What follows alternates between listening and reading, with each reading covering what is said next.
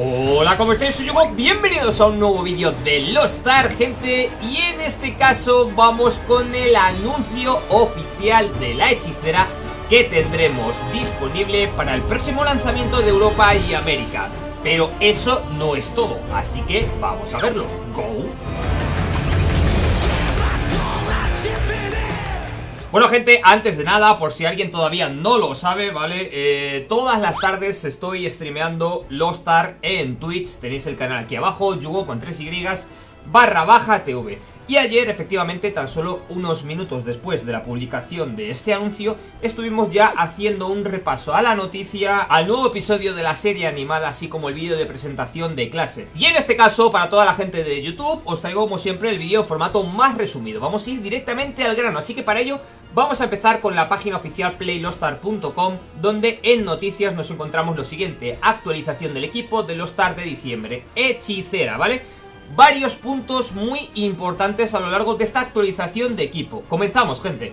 Héroes de Arquesia, ahora que nos acercamos al lanzamiento tenemos un gran anuncio sobre el plantel inicial de clases de Lost Star. Cuando el juego esté disponible a principios de 2022 podréis jugar con la nueva clase, la hechicera, ¿vale? Importante lo que viene a continuación, muy importante, a la par, a la par de importancia que el anuncio de la hechicera sustituirá a la invocadora en el plantel inicial Que mucha gente se llevó las manos a la cabeza Mucha gente tan solo pocos minutos después de anunciarse esto Decía, pero no lo entiendo ¿Por qué me quitáis la invocadora? Yo quería jugar invocadora Me llama la hechicera pero era main invocadora De hecho una clase que ya teníamos disponible ¿Vale? Que estaba habilitada en la última beta Y totalmente operativa en este punto, ¿vale? Se ha retirado del lanzamiento y va a ser sustituida por la nueva hechicera. Así que tendremos hechicera, sí, pero no tendremos invocadora. Seguimos manteniendo esas dos clases magas. ¿Por qué? Mm, no han entrado mucho en detalle, pero a lo largo de la noticia nos van a contar un poco. Sí que nos dicen que la invocadora llegará a Arquesia en el futuro. Respecto a la hechicera, gente, la hechicera utiliza magia poderosa basada en tres elementos, fuego, hielo y rayo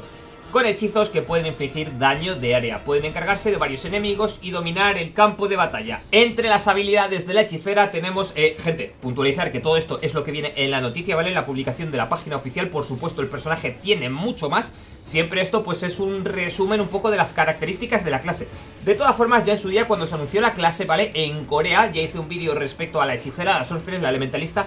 Así que podéis echar un vistazo porque ahí entramos más en detalle en algunas de las mecánicas que tiene Como el tema de su habilidad de identidad, la carga de poder y demás. Volviendo a la publicación, incinerar hace caer fragmentos de meteoritos del cielo que infligen daño a los enemigos Después se crea un pilar gigante en la zona objetivo que lanza a los oponentes hacia arriba y explota para infligir aún más daño. Explosión de escarcha emite hielo del cuerpo para infligir daño y provocar el estado de frío que reduce velocidad de ataque y de movimiento hasta un 60%. Flechas de hielo dispara flechas de hierro, dice aquí, no de hielo, que atraviesan a los enemigos e infligen daño. También causa el estado frío que reducen la velocidad de ataque y de movimiento de objetivo hasta un 60% durante 6 segundos. Y estallido del rayo dispara un rayo para atacar a los enemigos, otorga el estado electrocución. Decir, gente, que si os mola la idea, en los próximos días tendréis un vídeo hablando más en profundidad sobre la hechicera, un poco lo que sería su papel, su rol tanto en PvP como en PvE, así como cuáles son los puntos fuertes y débiles de la clase. Seguimos con la noticia, gente. Plantel inicial de clases. Nuestra versión de Lost Stars seguirá teniendo disponibles 15 clases en el lanzamiento con más opciones en futuras actualizaciones del juego. Al trabajar con Smilegate RPG para seleccionar el plantel inicial de clases, tuvimos en cuenta los siguientes criterios para asegurarnos de que está equilibrado y tiene algo para todo el mundo. Nuevas y familiares. Puede que nuestra versión de Lost Star aún incluya las más de 20 clases, pero sí queríamos que incluyese contenido nuevo y emocionante, además de algunas de las más populares. La hechicera es la clase más reciente de Lost Star, correcto gente, ya que debutó en Corea en agosto de 2021 y la vamos a recibir en la versión rusa en breve. O sea, es que todavía ni está, gente, la vamos a recibir muy, muy fresca en nuestra versión. Así que nos encanta poder compartirla igual que la clase golpeador con nuestros jugadores. Seguimos bajando, nos dice gran variedad de estilos. También era importante incluir una gran variedad de clases que se adapten a todos los estilos de juego de los aficionados. Hay muchas formas de hacer daño, pero también nos hemos asegurado de tener varias clases de apoyo, paladín y barda.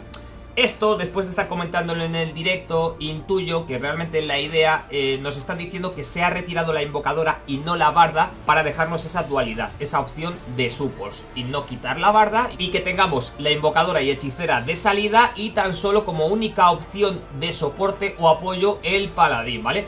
Parece ser que la idea es tener un poco repartido lo que va a jugar la gente. Aunque tenemos, por ejemplo, varias clases dentro de artistas marciales, hay varias de ellas que no son tan populares como pueden ser algunas del formato de maga, ¿no? En este caso la hechicera, que yo creo que va a ser de lo más jugado, o la barda, que también es una clase muy útil, bastante respetable, y creo que también va a tener, va a tener sus jugadores. Clases con género propio, hemos recibido alto y claro vuestras opiniones sobre el hecho de que las clases solo tengan un género desde el anuncio del juego en Occidente. Aunque no todas las clases tengan equivalentes masculinos y femeninos, queríamos incluir las que ya tienen desde un principio. Que esto es un detalle, también lo estuvimos comentando en el directo de ayer, y es una cosa positiva a remarcar, no nos vamos a quedar con lo negativo en este caso, pues que el tema de la comunicación, que no haya sido transparente desde el minuto uno y se haya retirado pues la invocadora un poco de esta manera, casi a última hora, ¿no? Porque la pudimos jugar en la beta y ya mucha gente le había gustado esta clase, de hecho una de las clases más populares en cuanto a selección eh, en la beta y bueno, pues eh, para la gente que ya tenía la intención de jugarla, pues puede ser un palo un poco amargo. Pero en este caso, sobre el rol de masculinos y femeninos está muy bien porque nos han incluido la pistolera dentro de los personajes artilleros a distancia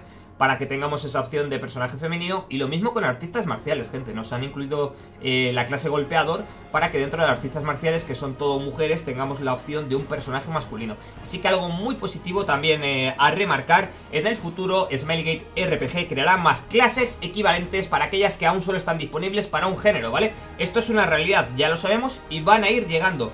Es más, en el evento que tenemos a final de este año, ¿vale? Para eh, Lost Star Corea, es posible que se muestre parte de estas clases en la hoja de ruta para el próximo año, ¿vale? Esto no lo pone aquí en la noticia como tal, pero ya os digo yo, gente, que es muy probable que se venga alguna de estas clases, pues por ejemplo, nos pueden enseñar eh, respecto al warrior femenino, respecto al mago masculino, al asesino masculino, aparte de lo que ya comentamos en el canal, el nuevo arquetipo, ¿no? La nueva clase especialista.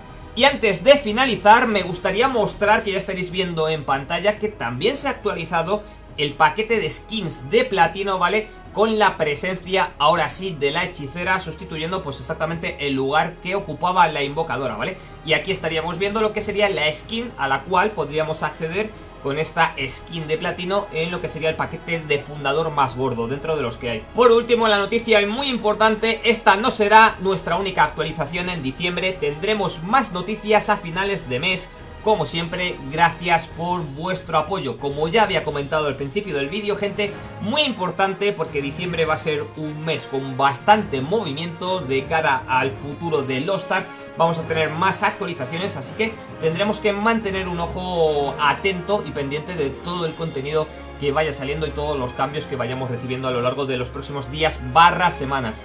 Yo por mi parte no me quiero enrollar nada más, espero como siempre que el vídeo os haya sido de utilidad, que os haya gustado. Si es así, se agradece muchísimo que dejéis vuestro like, suscribiros al canal si todavía no lo habéis hecho, gente, para no perderos nada de todo, todo lo que está por venir relacionado con los tag, que no es poco. Cualquier cosa que queréis añadir, como siempre, podéis hacerlo aquí abajo en la cajita de comentarios, ¿vale? Cualquier cosa que queréis dejar, y si no, pues a través de mi Twitter, arroba con 3 y o a través de mi Twitch, donde estamos todas las tardes con esta gran comunidad que poco a poco vamos creando alrededor de este pedazo de juego Lost Ark, gente. Así que dicho todo esto, me despido, pero tan solo hasta la próxima. Adiós.